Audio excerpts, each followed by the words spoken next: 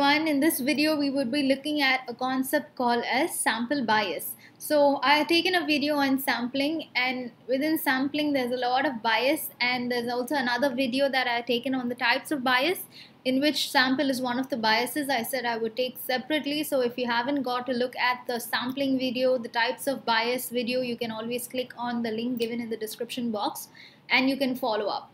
So let us, in this video, let us look at what is sample bias. So let's get into it.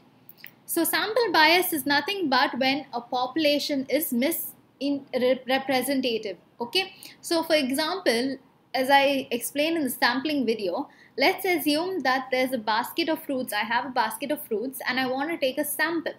So when I take a sample, it's always good to take one fruit of every type for example, if I'm having apples, mangoes and oranges, if I need a sample, I will take one of an apple, mango and orange. So it becomes a real representative of all my apples, mangoes and oranges. But in the scenario when I just take up an apple and orange, then that is said to be a sample bias because I'm not representing all the fruits. I've only represented apples and oranges and no mangoes. So that is what is said to be a sample bias. So basically every you know um, observation that is for example a fruit it should have equal chances of being selected. But in sample biases sometimes some observations have a higher you know probability of selection some have a lower probability and some don't even get selected. So sometimes if i want to you know um, with the same example a basket of fruits i would have picked up large number of apples and I would have collected like less uh, mangoes and just one orange. So that's not actually the representation of my basket of fruits. All my fruits would have been equal in the basket, but I had given you know priority for one particular fruit. I wouldn't have even selected. So this is something about sample bias. So let us look at a scenario in order to understand what is the sample bias and how actually it can affect decisions that are being taken in an organization or in any, you know, situation. So, for example, a local community wants to check if the people in their community are healthy or if they have any health conditions so that they can plan to set up some health checkup centers. Okay, so that's the first point to keep in mind.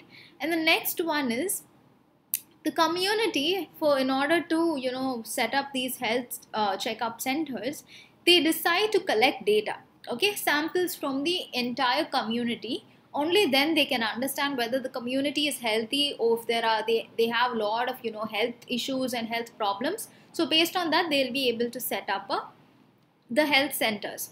So the local community decides to collect data from office going and school going people okay? So they said okay majority of people where we'll be able to collect data is we'll be able to collect you know the school records and also office records and in that itself we'll be able to get most of the people's information okay? So they plan to collect data and they plan to survey those particular people. So what happened is okay so the population consists of if you see the basic the real ground reality of the population the population consists of people of all diversities okay? Of all age groups of all the genders of all you know demographics okay? So you have the mixed uh, you know community of people. So when they surveyed the office going crowd as well as the school going crowd those were the people of somewhat of a like you know a very um, school going crowd was a young age and the office going crowd was also in their middle age. So um, mostly all the people there were found to be healthy okay on an average. So what happened was the community they set up just minimum okay let's say one health center because they said since all the people are healthy it's better to set up one health center which would be enough. But you look at the actual scenario what went wrong okay? So if you see here the actual population consists of more elder people okay though you have people going to you have students going to school you have people going to offices when you look at that particular community mostly it consists of elder people okay? Old people. And another thing was the elder people they have health problems. We all know that okay? So this was actually the scenario there. What actually went wrong in the survey and in this particular um, study. First one was the elder population was not included in the sample. Okay, people tried so the elder population are all mostly the people who have retired. Okay, people maybe in old age homes and care, healthcare centers. All these people were not even surveyed. The people of the schools and also the office going they were surveyed. Okay, the entire one entire group of people have been omitted which was a sample bias. It's not an exact representation of the population. Elders should have also been included to in order to represent the elder group, which was not done. Analysis proved that the population was healthy and only health, one health checkup camp was set up. So, as we knew, the analysis said that it was healthy and only one health uh, center camp was set up. Actually, due to the higher elder population, now if you see the ground reality, already the elder population is high and even they were not even included in the survey. So people never knew that elders are more. And also the fact is that elders had a lot of health issues which was not even recognized in that particular issue.